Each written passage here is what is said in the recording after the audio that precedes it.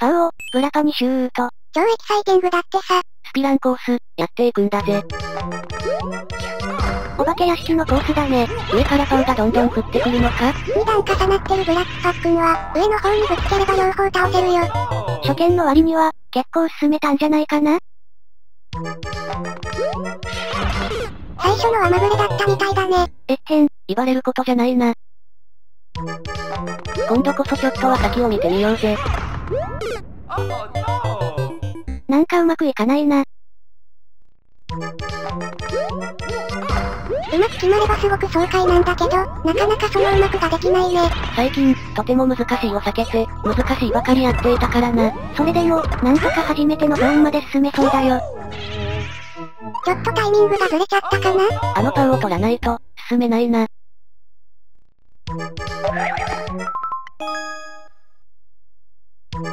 おい、何もなかったかのように始めるな。え、別に何もなかったよ。こんな下手くそプレイは、いつものことだから、特別なことじゃないもんね。それにしても、なんで毎回最初から再生するんだ？はい、尺稼ぎです。せめてもう少しオブラートに包んでええよ。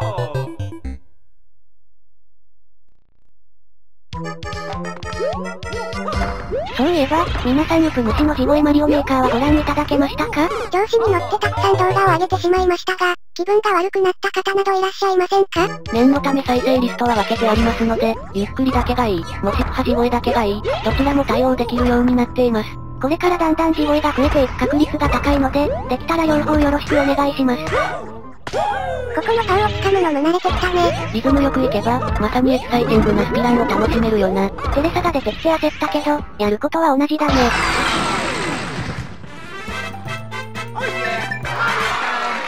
マリサ、このコースはどうだった？パウを掴むタイミングがうまく調整されていて、気分爽快で遊ぶことができたんだぜ。パウでブラパを倒すの、気持ちいいよね。それじゃ、いいねして次のコースをやっていくる。意外と簡単。久しぶりに兄さんのコースだね。わ、ワンワンがゴールを塞いでるぞ。大丈夫大丈夫、見てて。えー、外ゴールできるの？